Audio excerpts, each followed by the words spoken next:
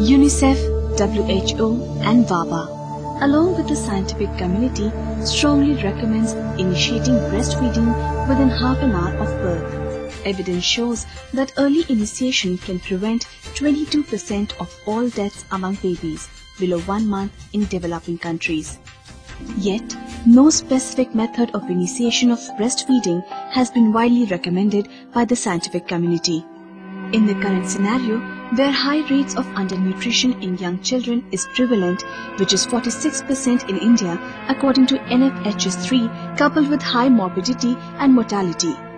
We in Maharashtra felt a dire need to identify evidence-based workable method which is easy, replicable and cost-effective.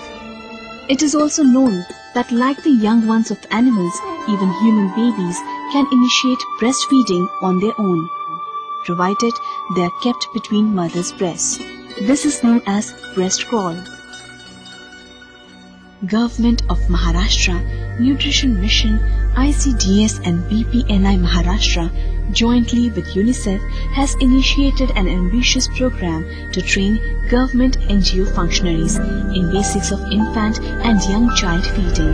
The miracle has moved one and all, from the grassroots health workers to the highest bureaucrats, and they have accepted it as the answer for early initiation.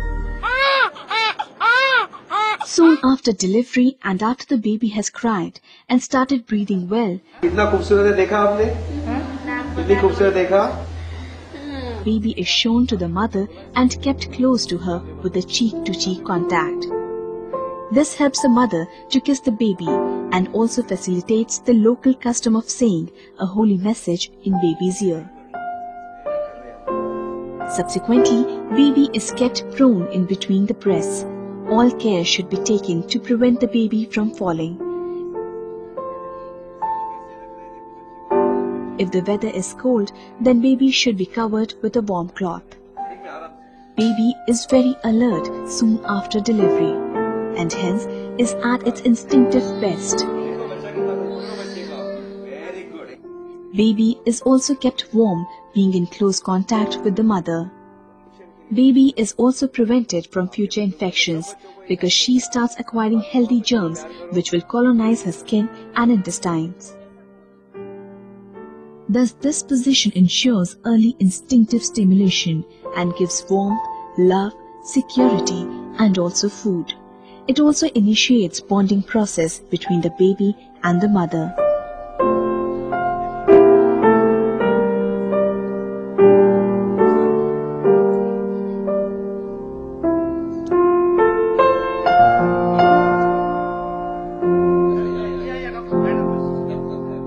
Kicks will give tender firm jerks to the womb, stimulating it to contract. This will help to expel placenta and reduce bleeding.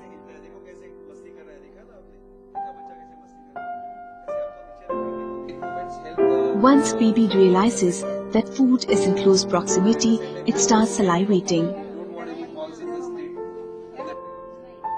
Smell is a strong stimulus which drives the baby towards the nipple. Baby's smell sensation is well developed. Smell of a chemical on nipples is similar to the smell of a chemical in amniotic fluid which surrounds the baby in the womb.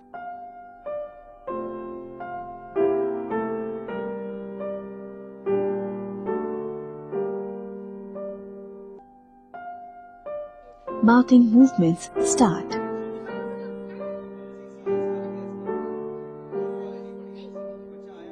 Her shoulder, hip and neck muscles are sufficiently developed to help her move. Baby with her limited vision can see the areola. If baby raises her head, it can also see mother's face.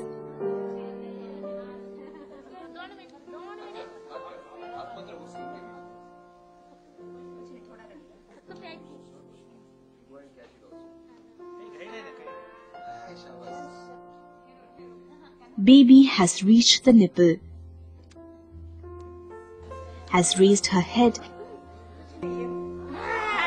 and has nicely lashed it with wide open mouth and mouthful of breast. What a beautiful moment of joy for the mother and the child. This baby has reached the destination in just over 10 minutes. Majority of babies will successfully complete breast crawl in about 30 to 60 minutes. Like all other gifts of nature, this comes free of cost. However, the health and nutrition benefits offered will save millions of lives and will save billions in terms of health cost.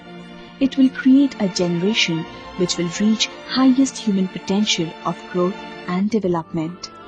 We request you to carry this message to all future mothers and their families to prepare them to experience this miracle. Train every health worker in the maternity service to help every baby and mother to initiate breastfeeding by nature's way.